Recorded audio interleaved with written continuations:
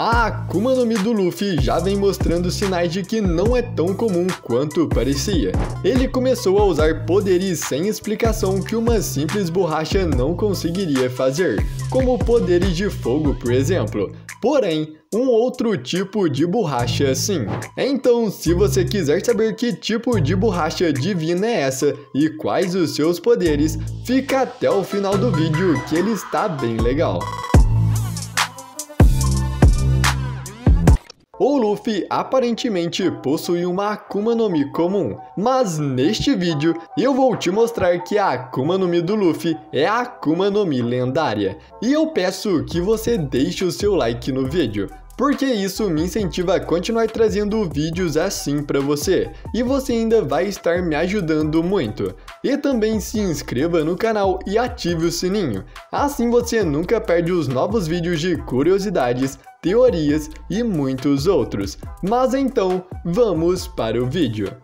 No capítulo 1037 do mangá de One Piece, vemos os Gorosei se exaltando e revelando a existência de uma Akuma no Mi que já não despertava há séculos, e aparentemente ela tinha aparecido agora. Eles até falam que esta Akuma no Mi teve o seu nome trocado. E agora com os acontecimentos do capítulo 1043 de One Piece, não resta quase nenhuma dúvida de que essa fruta de que os Gorosei estavam falando é a fruta do Luffy. Mas então a pergunta aqui é: qual a verdadeira fruta do Luffy e qual é o seu nome? Eu já fiz um vídeo assim discutindo com vocês várias teorias do que realmente poderia ser a Akuma no Mi do Luffy. Tem até a possibilidade dela ser uma Zoan mítica. Porém, tem uma outra teoria, que para mim é sensacional. E uma das teorias com a maior chance de acontecer. Aliás, já está acontecendo. Bem no começo do SBS, que para quem não sabe são perguntas enviadas pelos fãs de One Piece,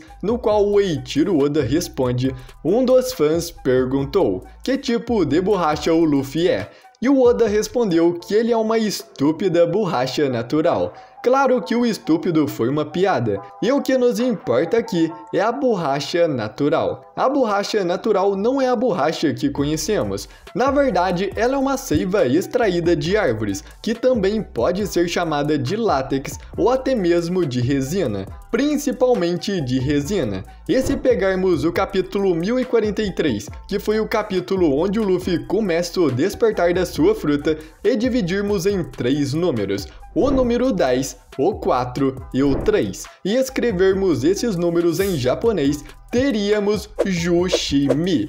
Jushi em japonês significa resina. Já o Mi pode estar indicando que este é o verdadeiro nome da fruta do Luffy, Jushi Jushi no Mi a fruta da resina. O Oda adora deixar pistas pelo mangá, principalmente nas capas dos capítulos, onde tem o título e o número do capítulo. Aliás, essa não é a única referência à resina que o Oda deixou em uma de suas capas, ainda tem mais uma. Na capa do capítulo 1039, vemos o chapéu de palha vagando pela selva, um lugar natural. E nesta imagem aparece um macaco apontando para uma espécie de seiva de árvores correndo, uma resina ou a borracha natural. Este macaco faz referência ao Luffy, do seu nome Monkey de Luffy, já que Monkey é macaco em inglês. Outra coisa interessante aqui também é que o macaco está usando joias e uma coroa mostrando que a família Monkey tem uma linhagem real. Quem sabe até mesmo Joy Boy não foi o rei do grande reino e também era um Monkey. Mas essa é uma teoria para outro vídeo. Se a Akuma no Mi do Luffy foi a fruta da resina, isso explicaria muita coisa coisas até mesmo que não possuem explicações agora. Um dos principais componentes encontrados na resina são proteínas e ácidos graxos, exatamente os mesmos componentes encontrados em carne, que coincidentemente é a comida favorita do Luffy, e sempre que ele come carne, ele recupera as energias quase instantaneamente. Isso acontece pelo fato da carne possuir os mesmos componentes que o seu corpo é feito, no caso resina, e assim ele tem uma renovação do seu corpo toda vez que ele come carne. E o prazer de restaurar todo o seu corpo faz o Luffy adorar comer carne, fazendo ser a sua comida favorita. A resina, por ser um material base da borracha, possui várias formas. Uma dessas formas é o âmbar. O âmbar é totalmente elástico, o que explica a elasticidade do Luffy. Ou seja, isso não prejudica em nada todos os poderes de borracha que o Luffy usou até agora. Uma coisa interessante aqui é que a palavra latina para âmbar é electron. Essa palavra vem do grego antigo elector, e o significado de elector é sol radiante. Então, resumindo, na Grécia Antiga eles chamavam o âmbar de sol radiante, provavelmente pela sua cor e o seu brilho. Isso linka diretamente com o deus do sol Nika, que é o mesmo ser que o Joy Boy, nos dando mais uma prova de que essa pode ser a fruta lendária, a mesma fruta que pertenceu ao Joy Boy. A fruta da resina também explicaria os Gears do Luffy, que mesmo já sendo explicados como funciona, ainda continua sendo um mistério. No Gear 2, o Luffy aumenta a sua circulação sanguínea por todo ou parte do seu corpo, aumentando todo o seu calor e também todos os seus movimentos, fazendo seu corpo ficar bem mais maleável. Quando a resina é aquecida, várias coisas acontecem com ela. A primeira é que ela fica bem mais maleável e pode ser esticada de forma muito mais fácil fácil. Outra coisa que acontece é uma liberação de vapor, assim como vemos no Luffy, e a perda de componentes, como proteínas, por exemplo. Isso explica a fome incontrolável do Luffy depois que ele usa bastante tempo essa técnica. Agora, já no Gear 4, o Luffy endurece todo o seu corpo, e a resina também tem essa propriedade. Ela pode chegar a ser tão dura quanto a rocha.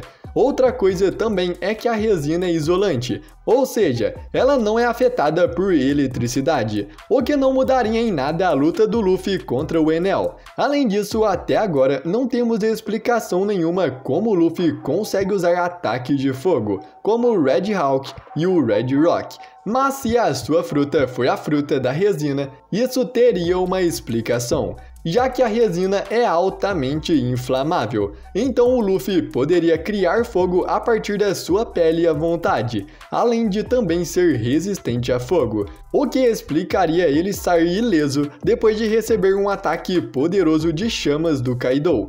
Com a Jushi Jushi no Mi, a fruta da resina, todos os poderes que o Luffy mostrou até agora continuariam o mesmo, já que a resina é borracha na sua essência. E não só isso, ela também tem muitas outras propriedades. Com esta Akuma no Mi, além dos poderes de borracha comum, o Luffy também vai poder endurecer o seu corpo, ou deixar ele mais líquido, criar fogo, ou até mesmo, quem sabe, poder usar a propriedade de intangibilidade de uma Logia. Porém, só isso não faria dessa Akuma no Mi tão perigosa a ponto do governo mundial trocar o seu nome e a esconder. Mas tem algo que explica isso. Se repararmos nas duas cenas preferidas do Oda, vamos perceber algo. A sua segunda cena favorita é a Robin olhando para uma espécie de bolha que saía de uma árvore chamada Yarukiman Mangrove, em Sabaody. E quando ela pergunta como aquilo funcionava, ela recebe a resposta de que aquelas raízes possuem um segredo especial,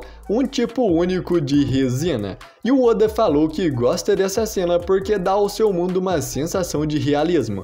Já agora, se olharmos a primeira cena favorita do Oda, é o Luffy festejando em volta de uma fogueira. Se repararmos nessa imagem do Luffy, ela é coincidentemente igual à do deus do sol Nika. E se olharmos para a imagem do Nika, os seus membros parecem muito flexíveis, quase como se o seu corpo fosse feito de borracha, no caso de resina. Essas duas cenas favoritas do Oda não são simplesmente uma coincidência. Ele está mostrando que existe uma espécie de resina especial e que a Akuma no Mi do Luffy é a mesma que a do Joy Boy.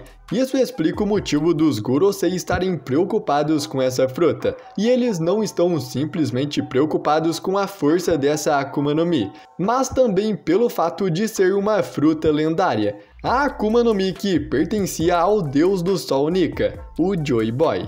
Outro motivo também pode ser que essa fruta seja a única que consiga superar o mar, já que resina também pode se tornar óleo. Então o Luffy poderia criar óleo do seu corpo, e óleo com água não se misturam, o que poderia fazer o Luffy se revestir de óleo para não ser afetado pela água. E assim ele meio que burlaria as regras, e poderia nadar na água à vontade sem ser afetado pela consequência de ter comido uma Akuma no Mi. E galera, se você quiser ver outras teorias sobre a Akuma no Mi do Luffy, tem um outro vídeo bem legal que eu fiz. Ele vai estar passando na tela. Eu espero muito que você tenha gostado do vídeo. E se você gostou, se inscreva no canal e ative o sininho. Assim você nunca perde nenhum vídeo novo e sempre vai receber os novos vídeos de curiosidades, teorias e muitos outros. Eu agradeço muito por você ter assistido até aqui. Até a próxima e fui!